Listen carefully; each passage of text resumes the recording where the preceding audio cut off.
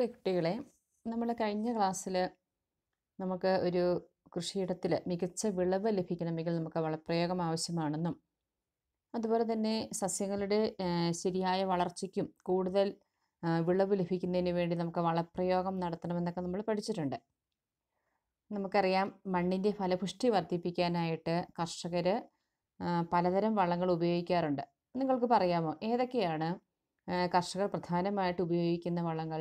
ആ രാസവളം ഉപയോഗിക്കാറുണ്ട്. ജൈവ വളങ്ങൾ ഉപയോഗിക്കാറുണ്ട്. പച്ചില വളം ഉപയോഗിക്കാറുണ്ട് അല്ലേ? നമ്മുടെ വീടുകളിലൊക്കെ കൃഷിയിടത്തിൽ നമ്മൾ ഉപയോഗിക്കുന്നതാണ്. നിങ്ങൾ പുസ്തകത്തിലെ ഒരു പിക്ചർ നോക്കിക്കേ. എന്താ ഒരു പിക്ചർ അവിടെ ഒരു പെൺകുട്ടി നിൽപ്പുണ്ട് അല്ലേ? ഗീതു. ഗീതുവിന് അവിടെ ഒരു കൃഷിഭവൻ ആണ് അവിടെ ഒരു ചിത്രത്തിൽ കാണിച്ചിരിക്കുന്ന ഒരു കെട്ടിടം. അപ്പം അതിന്റെ ആ ഒരു മതിലിൽ ഒരു പോസ്റ്റർ ഒട്ടിച്ചിട്ടുണ്ട്. എന്താണ്? മെച്ചപ്പെട്ട വിളവിന് ജീവാണുവളം. അല്ലേ നിങ്ങൾ കേട്ടിട്ടുണ്ടോ ജീവാണുവളം എന്ന്? ഉണ്ടോ? അപ്പം നമുക്ക് പഠിക്കാം. എന്താണ് ജീവാണുവളം? അപ്പം നിങ്ങൾക്ക് തോന്നി നിങ്ങളുടെ മനസ്സിൽ തോന്നിയ അതേ സംശയം തന്നെയാണ് ഗീതുവിനും തോന്നിയത് എന്താണ് ജീവാണുവളം? അപ്പോൾ ഗീതു എന്ത് ചെയ്തു? നമുക്കറിയാം നമുക്ക് കൃഷിയെക്കുറിച്ചുള്ള സംശയങ്ങളൊക്കെ തീർക്കാനായിട്ട് ഒരു കൃഷിഭവനുണ്ട്. അല്ലേ? നിങ്ങളുടെ വീടിനടുത്തൊക്കെ കാണും കൃഷിഭവനിലൊരു കൃഷി ഓഫീസറും ആ, ജോലിക്കാരും ഒക്കെ ഉണ്ട്. അപ്പം നമുക്കിങ്ങനെ കൃഷിയെക്കുറിച്ചുള്ള സംശയങ്ങളൊക്കെ എന്തെങ്കിലും ഉണ്ടെങ്കിൽ അവരോട് ചോദിച്ചാൽ നമ്മൾ അവർ നമുക്ക് സംശയങ്ങളൊക്കെ തീർത്തു തരും. അപ്പോൾ ഇവിടെ ഗീതും എന്താണ് ചെയ്തത്? ആ ഗീതു സംശയം തീർക്കാനായിട്ട് ഉദ്യോ ഉദ്യോഗസ്ഥരെ സമീപിച്ചു. അപ്പോൾ അവരെന്ത് കൊടുത്തു? ഒരു ലഘുരേഖ കൊടുത്തു. അപ്പം അതിലാണ് അത് നമുക്കൊന്ന് വായിച്ചു നോക്കാം. എന്താണ് അതിൽ പറഞ്ഞിട്ടുള്ളതെന്ന്. ഒരു ബ്രോഷർ അല്ലെങ്കിൽ നോട്ടീസ് കൊടുത്തു. വളം തരുന്ന ജീവാണുക്കൾ. മണ്ണിന്റെ ഫലപുഷ്ടി വർദ്ധിപ്പിക്കാൻ സഹായിക്കുന്ന സൂക്ഷ്മജീവികൾ അടങ്ങിയ പദാർത്ഥങ്ങളാണ് ജീവാണുവളങ്ങൾ. അത് പഠിക്കണം കേട്ടോ. എന്താണ് ജീവാണുവളങ്ങൾ? മണ്ണിന്റെ ഫലപുഷ്ടി വർദ്ധിപ്പിക്കാനായിട്ട് സഹായിക്കുന്ന സൂക്ഷ്മജീവികൾ അടങ്ങിയ പദാർത്ഥങ്ങളാണ് ജീവാണു വളങ്ങൾ മണ്ണിന്റെ ഫലപുഷ്ടി വർദ്ധിപ്പിക്കണം നമുക്ക്. അല്ലേ? എന്തിനാണ് ഫലപുഷ്ടി വർദ്ധിപ്പിക്കേണ്ടത്? ആ കൂടുതൽ സസ്യങ്ങൾ അല്ലെങ്കിൽ നമ്മൾ കൃഷി ചെയ്യുന്ന സസ്യങ്ങൾ നന്നായിട്ട് വളർന്നു വരണം. വളർന്നു വന്നാൽ മാത്രമേ നമുക്ക് കൂടുതൽ വിളവ് ലഭിക്കത്തുള്ളൂ. അപ്പം അങ്ങനെ വിളവ് ലഭിക്കണമെങ്കിൽ മണ്ണിൽ ഫലപുഷ്ടി വർദ്ധിപ്പിക്കണം. അപ്പം അങ്ങനെ മണ്ണിൽ ഫലപുഷ്ടി വർദ്ധിക്കാനായിട്ട് വർദ്ധിപ്പിക്കാനായിട്ട് സഹായിക്കുന്ന സൂക്ഷ്മജീവികൾ അടങ്ങിയ പദാർത്ഥങ്ങളെയാണ് നമ്മൾ എന്തു പറയുന്നത്? ജീവാണുവളങ്ങൾ എന്ന് പറയുന്നത്. ജീവാണുക്കളുടെ സാന്നിധ്യം മണ്ണിലെ സസ്യ വളർച്ചയ്ക്ക് ആവശ്യമായ ഘടകങ്ങളുടെ അളവ് കൂട്ടാൻ സഹായിക്കുന്നു. അപ്പം നമ്മൾ തൊട്ട് മുമ്പ് പഠിച്ച ഭാഗത്ത് നമ്മൾ പഠിച്ചിരുന്നു എന്താ മണ്ണിൽ സൂക്ഷ്മ ജീവികളും ഫംഗസുകളൊക്കെ ഉണ്ട്. അവ എന്താ ചെയ്യുന്നത് ആ മണ്ണിൽ വീഴുന്ന സസ്യങ്ങളുടെയും ജന്തുക്കളുടെയൊക്കെ ശരീര അവശിഷ്ടങ്ങളെ ജീർണിപ്പിക്കുന്നു അല്ലേ? അങ്ങനെ ജീർണിപ്പി അവയുടെ ശരീരത്തുണ്ടായിരുന്ന ആ മൂലകങ്ങളെയൊക്കെ എങ്ങോട്ട് എന്താ ചേർക്കുന്നു? മണ്ണിലോട്ട് ചേർക്കുന്നു അല്ലേ? അപ്പം അങ്ങനെ ഈ ജീവാണുക്കൾ ഈ സൂക്ഷ്മജീവികൾ മണ്ണിലുണ്ടായാൽ മണ്ണിലെ സസ്യ വളർച്ചയ്ക്ക് ആവശ്യമായിട്ടുള്ള എന്താ ഘടകങ്ങളുടെ അളവ് കൂട്ടാനായിട്ട് സഹായിക്കുന്നു. മണ്ണിൽ നൈട്രജന്റെ അളവ് കൂട്ടുന്നതിനായി റൈസോബിയം അസറ്റോബാക്ടർ അസോസ്പൈറിലം തുടങ്ങിയ ബാക്ടീരിയകളെയും അസോളം എന്ന ജലസസ്യത്തെയും ഉപയോഗിക്കാം. അപ്പോൾ നമുക്കറിയാം നൈട്രജൻ സസ്യങ്ങളുടെ വളർച്ചയ്ക്ക് വളരെ അത്യാവശ്യമായിട്ടുള്ള ഒരു ഘടകമാണ്. അപ്പോൾ നമുക്ക് മണ്ണിലെ നൈട്രജന്റെ അളവ് കൂട്ടണമെങ്കിൽ നമുക്ക് ഇങ്ങനെ ഈ എന്താ റൈസോബിയം അസറ്റോബാക്ടർ അസോസ്പൈറിലം തുടങ്ങിയ ബാക്ടീരിയകളെ മണ്ണിൽ ചേർത്ത് കൊടുക്കാം. അതുപോലെ തന്നെ അസോള എന്ന് പറയുന്ന ജലസസ്യത്തെയും നമുക്ക് മണ്ണിൽ ചേർത്ത് കൊടുത്താൽ നമുക്ക് മണ്ണിലെ നൈട്രജന്റെ അളവ് വർദ്ധിപ്പിക്കാനായിട്ട് സാധിക്കും. ഇപ്പം നമ്മൾ നേരത്തെ പഠിച്ചു എങ്ങനെയാണ് ഈ റൈസോബിയോ അസറ്റോബാക്ടർ ഒക്കെ മണ്ണിലെ നൈട്രജന്റെ അളവ് വർദ്ധിപ്പിക്കുന്നത്? നമുക്കറിയാം അന്തരീക്ഷത്തിൽ നൈട്രജന് ഉണ്ട്. പക്ഷേ സസ്യങ്ങൾക്കത് നേരിട്ട് അതിനെ വലിച്ചെടുക്കാനായിട്ട് സാധിക്കുകയില്ല. അപ്പോൾ ഈ ബാക്ടീരിയകൾ എന്ത് ചെയ്യുന്നു? ആ ആ ആ, എന്താ അന്തരീക്ഷത്തിൽ കാണുന്ന നൈട്രജനെ മണ്ണിലോട്ട് ഉറപ്പിക്കുന്നു ഫിക്സ് ചെയ്യുന്നു. അപ്പോൾ അങ്ങനെ വരുമ്പോൾ അത് സസ്യങ്ങൾക്ക് മണ്ണിൽ നിന്ന് വലിച്ചെടുക്കാനായിട്ട് അല്ലെങ്കിൽ മണ്ണിൽ നിന്ന് സസ്യങ്ങൾക്ക് ലഭിക്കുന്നു.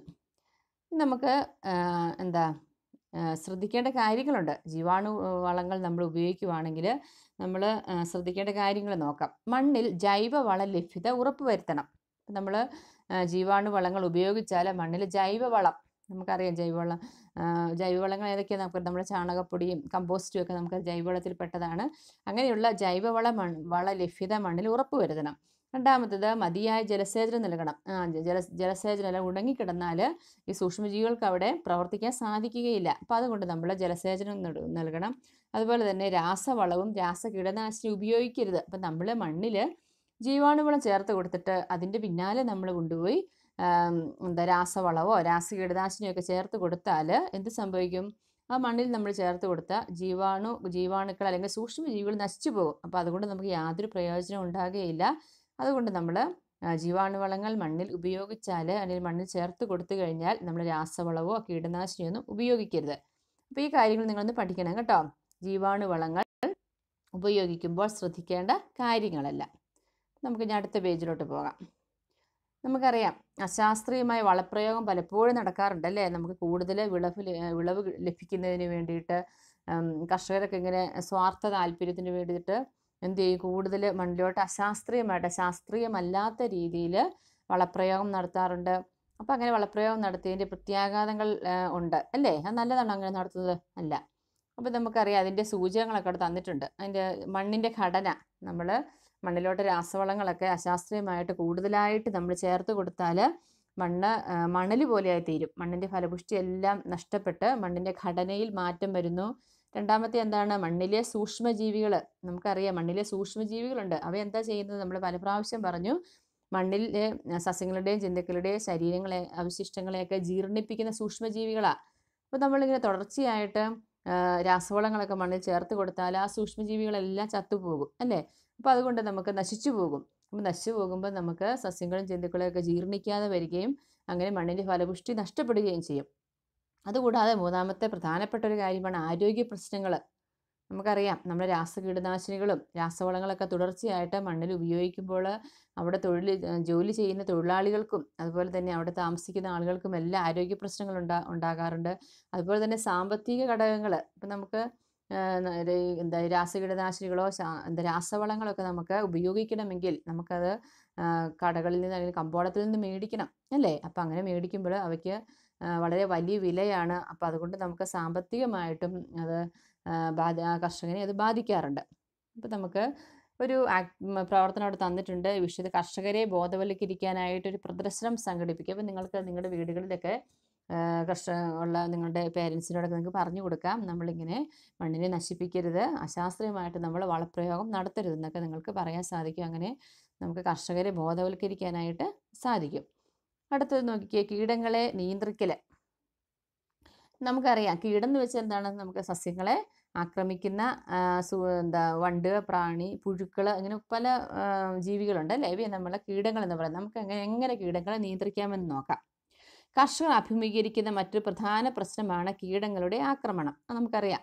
നമ്മുടെയൊക്കെ വീടുകളിൽ പച്ചക്കറിയോ അല്ലെങ്കിൽ പൂച്ചെടിയോ ഒക്കെ ഉണ്ടെങ്കിൽ അത് നശിപ്പിക്കാനുള്ള കീടങ്ങളുണ്ട്. അപ്പോൾ ഇത് മറികടക്കാൻ ആ, രാസ കീടനാശിനികൾ ഉപയോഗിക്കുന്ന സാധാരണമാണ്. അപ്പോൾ എല്ലാവരും എന്താ പെട്ടെന്ന് ചെയ്യുന്നത് എന്തെങ്കിലും കീടാണുക്കൾ നമ്മുടെ പച്ചക്കറിത്തോട്ടത്തിലോ അല്ലെങ്കിൽ നമ്മുടെ പൂന്തോട്ടത്തിലോ അല്ലെങ്കിൽ നമ്മുടെ കൃഷിയിടത്തിലോ ഒക്കെ കീടങ്ങൾ വന്നാൽ പെട്ടെന്ന് നമ്മൾ രാസ കീടനാശിനിയാണ് നമ്മൾ ഉപയോഗിക്കുന്നത്. അത് സാധാരണമായിട്ട് നടക്കുന്ന ഒരു കാര്യമാണ്.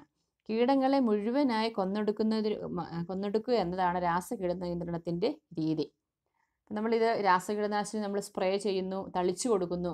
തളിച്ചു കൊടുക്കുമ്പോൾ ആ കീടങ്ങളെ മുഴുവനായിട്ട് നശിപ്പിക്കുന്നു അല്ലേ? പക്ഷേ എന്താ സംഭവിക്കുന്ന? കീടങ്ങൾ അതിജീവന ശേഷി നേടുന്നതോടെ വീര്യം കൂടിയ കീടനാശിനികൾ കൂടുതൽ അളവിൽ ഉപയോഗിക്കേണ്ടി വരുന്നു. അപ്പോൾ അതിനൊരു പ്രശ്നമുണ്ട്. നമ്മളിങ്ങനെ രാസകീടനാശിനി കൃഷിയിടത്തിൽ ഉപയോഗിച്ചു ഒരു പ്രാവശ്യം കീടങ്ങളെല്ലാം ചത്തു വന്നു ചത്തുപോയി അല്ലെങ്കിൽ നശിച്ചു പോയി നമ്മൾ കീടങ്ങൾക്ക് പിന്നെ വീണ്ടും അതിനെ അതിനെ അതിജീവിക്കാൻ വരും. അതിജീവിക്കാനുള്ള കഴിവോട് കൂടിയ കീടങ്ങളാണ് പിന്നെ ഉണ്ടാകുന്നത്. അപ്പോൾ നമ്മൾ വീണ്ടും വീണ്ടും വീര്യം കൂടിയ കീടനാശിനി നമ്മൾ ഉപയോഗിക്കേണ്ടി വരുന്നു. ഇപ്പോൾ നമ്മൾ ആദ്യം ഉപയോഗിച്ചതിൽ നിന്നും വീര്യം കൂടിയ കട എന്താ കീടനാശിനികൾ വീണ്ടും വീണ്ടും ഉപയോഗിക്കുമ്പോൾ എന്താ പ്രശ്നം വരുന്നത്? ആ നമ്മുടെ പരിസ്ഥിതിക്ക് അത് ദോഷമാണ്. അതുപോലെ തന്നെ ആരോഗ്യ പ്രശ്നങ്ങളും ഉണ്ടാകാറുണ്ട്. അപ്പം നിങ്ങൾ അവിടെ ഒരു പത്രവാർത്ത കൊടുത്തിട്ടുണ്ട്. ശ്രദ്ധിച്ച് നോക്കിക്കുക എന്താ പത്രവാർത്ത? രാസ കീടനാശിനികളുടെ വ്യാപകമായ ഉപയോഗം ക്യാൻസർ ബാധിതരുടെ എണ്ണത്തിലുണ്ടായ വർധനവിന്റെ ഒരു പ്രധാന കാരണമായി സംശയിക്കപ്പെടുന്നു. അപ്പോൾ നമുക്കറിയാം നമ്മുടെ നാടുകളിലും നമ്മുടെ പരിസരങ്ങളിലും ഒക്കെ ക്യാൻസർ എന്ന് പറയുന്ന രോഗമുണ്ട്. അപ്പോൾ അതിന്റെ ഒരു രാസകീടനാശിനികൾ ഉപയോഗിക്കുന്നതുകൊണ്ടാണ് ക്യാൻസർ രോഗമുണ്ടാകുന്നതെന്ന് സംശയ സംശയിക്കപ്പെടുന്നത് അതുപോലെ ഭൂഗർഭജലത്തിൽ വളരെ കൂടിയ അളവിൽ കീടനാശിനികളുടെ സാന്നിധ്യം കണ്ടെത്തിയത് ആശങ്ക സൃഷ്ടിക്കുന്നുണ്ട്. അപ്പം നമ്മൾ നമ്മുടെ കൃഷിയിടത്തിലൊക്കെ ഉപയോഗിക്കുന്ന രാസ കീടനാശിനികൾ അത് മണ്ണിൽ കൂടി ഊർന്നിറങ്ങി നമ്മൾ ഉപയോഗിക്കുന്ന വെള്ളത്തിലൊക്കെ എത്താറുണ്ട് ഭൂഗർഭ ജലത്തിലെത്താറുണ്ട് അപ്പം നമ്മൾ ആ വെള്ളം ഉപയോഗി ഉപയോഗിക്കുമ്പോൾ എന്ത് സംഭവിക്കുന്നു? ആ രാസകീടനാശിനിയിലുള്ള രാസ കീടനാശിനിയിലുള്ള വസ്തുക്കൾ നമ്മുടെ ശരീരത്തിൽ വരികയും അങ്ങനെയാണ് നമ്മൾക്ക് രോഗങ്ങൾ ഉണ്ടാകുകയും ചെയ്യുന്നത്. അപ്പോൾ ഈ സാഹചര്യത്തിൽ പ്രകൃതിക്കും അതുപോലെ തന്നെ ആരോഗ്യത്തിനും ദോഷകരമല്ലാത്ത കീട നിയന്ത്രണ മാർഗങ്ങൾ അവലംബിക്കണം അല്ലേ? അല്ലെങ്കിൽ നമുക്ക് എന്താ സംഭവിക്കുന്നത്? എല്ലാവരുടെയും ആരോഗ്യം നശിച്ചു പോകും. അപ്പം നമുക്ക് നോക്കാം. എങ്ങനെയാണ് അങ്ങനെയുള്ള കീടനിയന്ത്രണ മാർഗങ്ങൾ അവലംബിക്കുന്നത് നമുക്ക് നോക്കാം. അപ്പോൾ അവിടെ നിങ്ങൾക്കൊരു ശാസ്ത്രലേഖനം കൊടുത്തിട്ടുണ്ട്. കീടങ്ങളും പ്രകൃതിദത്ത ശത്രുക്കളും. എന്തുകൊണ്ടാണ് ചില കീടങ്ങൾ ക്രമാതീതമായി പെരുകുന്നത്? എന്തുകൊണ്ടായിരിക്കും? നമുക്കറിയാം. അതിന്റെ ഒരു പ്രധാനപ്പെട്ട കാരണം എന്ന് പറയുന്നത് അവയെ ഇരയാക്കുന്ന ജീവികളുടെ എണ്ണത്തിലുണ്ടാകുന്ന കുറവ് അതൊരു പ്രധാന കാരണമാണ് അതിന്. അത് ഒരു ഒരു കീടം. ആ കീടത്തിന് നിങ്ങൾ ആ ചിത്രമൊക്കെ ശ്രദ്ധിച്ചോ? കീടങ്ങളെ ഭക്ഷിക്കുന്ന കുറേ ജീവികളുടെ ചിത്രമൊക്കെ അവിടെ കൊടുത്തിട്ടുണ്ട്. അപ്പോൾ അങ്ങനെ ഒരു ചില ഒരു കീടത്തിനെ തിന്നുന്ന അല്ലെങ്കിൽ ഇരയാക്കുന്ന ജീവികളുടെ എണ്ണം കുറഞ്ഞു പോയാൽ എന്ത് സംഭവിക്കും? ആ കീടം ഇതിന്റെ എണ്ണം കൂടും. അതുപോലെ കീടങ്ങളെ ഭക്ഷണമാക്കുന്നവയെയും കീടങ്ങൾക്ക് രോഗം പരത്തുന്ന ജീവികളെയും കീടങ്ങളിൽ പരാതമായി ജീവിക്കുന്നവയും ജീവിക്കുന്നവയെയും കീടങ്ങളുടെ പ്രകൃതിദത്ത ശത്രുക്കൾ എന്ന് വിളിക്കാം. അപ്പോൾ നമുക്ക് കീടങ്ങളിൽ കീടങ്ങൾക്ക് പ്രകൃതിദത്ത ശത്രുക്കളുണ്ട്. പ്രകൃതിയിൽ തന്നെ അവയ്ക്ക് ശത്രുക്കളുണ്ട്. ആരൊക്കെയാണ് കീടങ്ങളുടെ പ്രകൃതി ശത്രുക്കൾ എന്ന് പറയുന്നത്?